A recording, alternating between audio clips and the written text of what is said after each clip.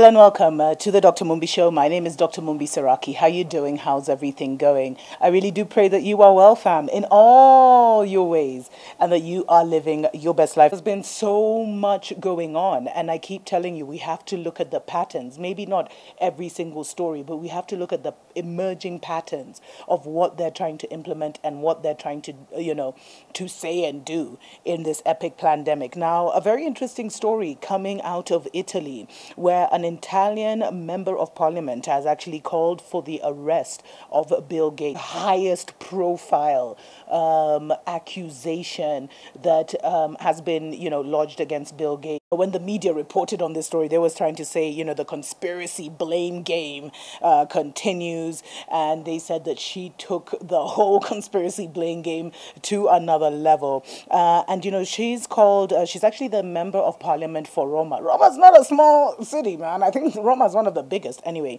uh, Sara Cunial, and uh, she spoke in parliament. She was booed, but the president of the parliament or the head of the parliament or whatever said that she had her right to speak across the parliaments of the, most of the parliaments of the world because it's a copy paste system.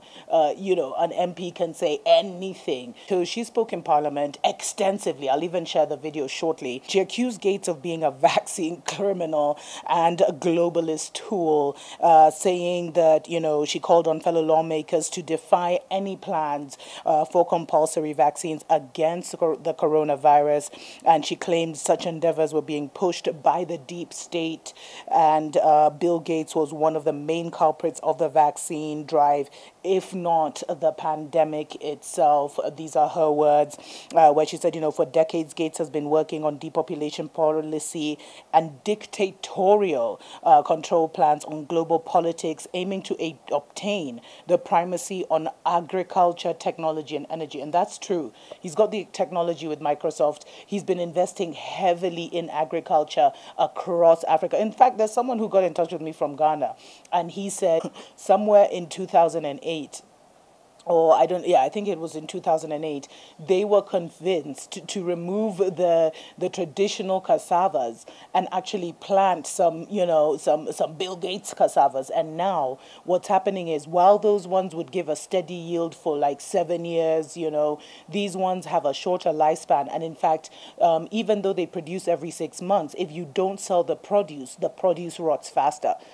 But people cannot play God and think they can create something better than nature. Nature is superior, fam, for real. Um, and anyway, he's a very well-known uh, anti-vax, you know, anti-vaccination activist, um, and it was just shocking, you know, to even her uh, fellow members of parliament, uh, where she boldly accused Gates of sterilizing millions of African children. I'm telling you, that story has gone so viral, and that just didn't happen anywhere in Africa. It happened here in Kenya. Uh, I've been told the similar tetanus jab was given to young women in Nigeria, but you guys can confirm. I keep telling you, there's gateway nations that they're always trying to see. If it works there, then they know it will work in the rest of the region. And then, um, you know, she continued on to say, you know, it's our children who will lose more, uh, who are raped souls. I mean, very dramatic. In this way, the right to school will be granted only with a bracelet uh, to get them used to probation, to get them used to slavery and involuntary treatment. Uh, the real goal of all of this is total control, absolute domination of human beings transformed into guinea pigs and slaves, violating sovereignty and free will you know, and a lot of you people in Europe are speaking out against this, the illegal vax agenda. Go ahead and listen to her video.